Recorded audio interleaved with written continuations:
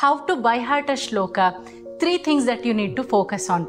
First one is the tune of the shloka. Usually, all the shlokas will have a basic tune depending upon their meters that's been passed down through generations. It will be easier to practice the shloka with that tune than reading it just like a line from the book.